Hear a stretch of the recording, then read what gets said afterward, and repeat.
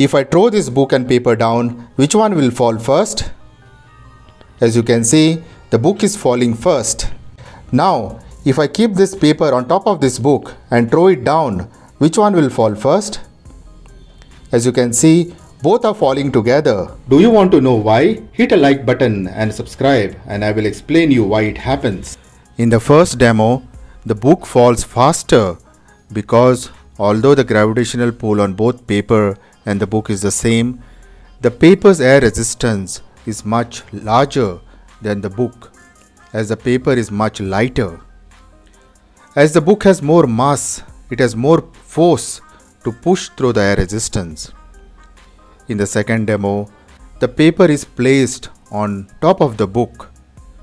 The air can't reach the bottom of the paper as the book shields it.